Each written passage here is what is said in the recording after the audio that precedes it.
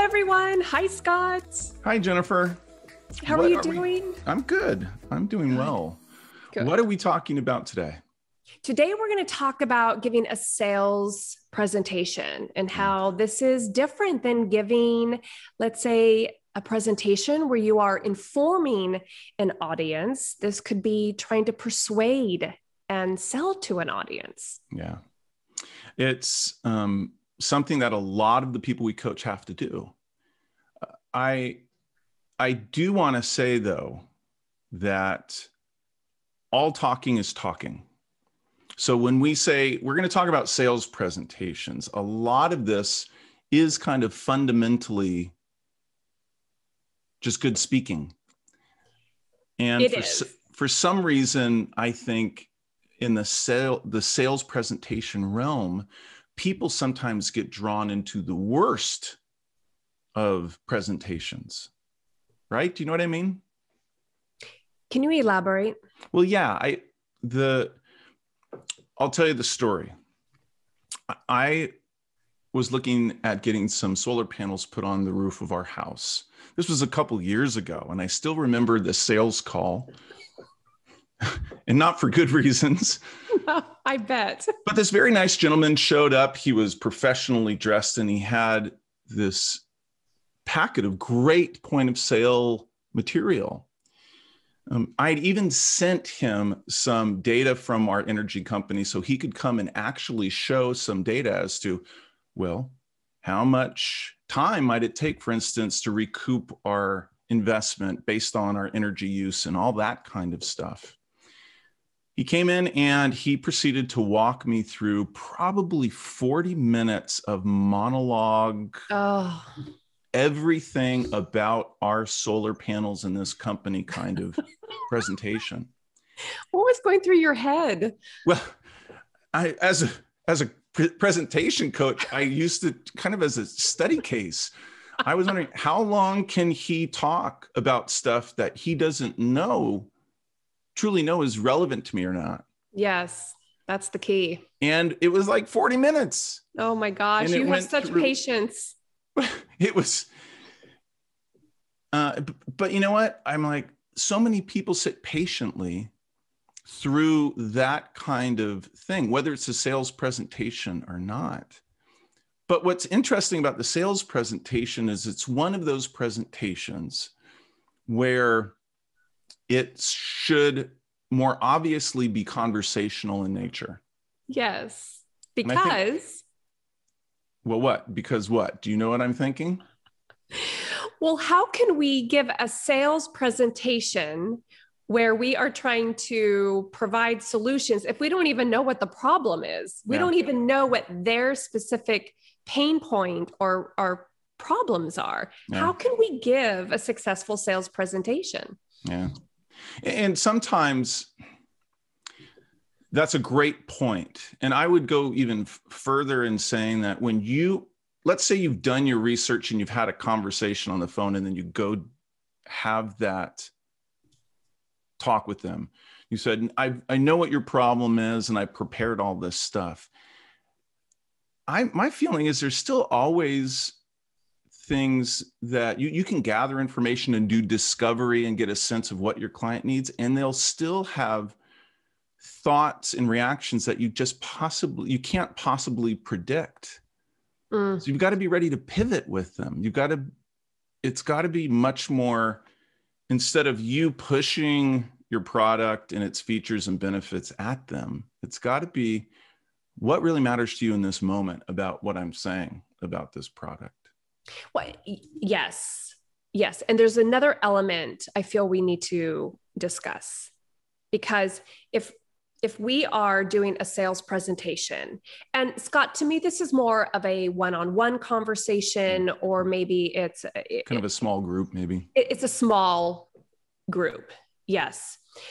If a relationship if trust has not been started to, to be built into this conversation where is it going to possibly go? Yeah yeah. So I feel that that foundation needs to first take place also because they're not going to purchase, they're not going to work with that person unless they feel a connection with them. Right. Well, and that's what it was. That's what I was thinking as you were saying trust, because many of us go back to content. So how do I get them to trust me? Well, let me, you know, show you this sheet of paper with all these logos on it. These are all the companies we've sold to in the past. And that stuff matters. Don't get me wrong. I think some of it's better presented via, you know, written materials and things like that.